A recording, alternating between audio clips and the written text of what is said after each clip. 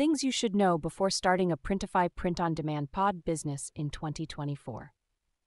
Market research. Understand your target audience, their preferences, and current trends. Research popular niches and products that perform well on Printify. Design and production. Familiarize yourself with Printify's design requirements and guidelines. Learn how to create high quality designs that appeal to your target audience. Understand the production process, including printing, packaging, and shipping. Marketing and sales.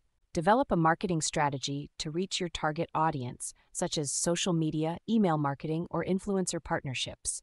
Learn about effective sales tactics such as product descriptions, pricing, and promotions. Set up an e commerce platform or integrate with existing platforms like Shopify. Printify fees and pricing.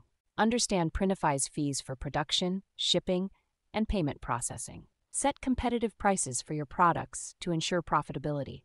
Consider offering discounts or promotions to attract customers. Product options and variations. Familiarize yourself with Printify's product options, including apparel, home decor, and accessories. Learn how to create product variations, such as different colors, sizes, and styles. Consider offering custom products or personalized items to differentiate your business. Customer service. Understand the importance of providing excellent customer service to build trust and loyalty. Set up a customer service system to handle inquiries, returns, and refunds. Respond promptly to customer feedback and reviews. Financial planning. Set realistic financial goals and projections for your business. Plan for expenses such as marketing and production costs. Monitor your cash flow and adjust your strategy as needed.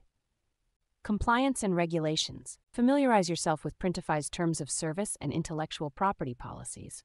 Understand regulations related to online sales, taxes, and consumer protection.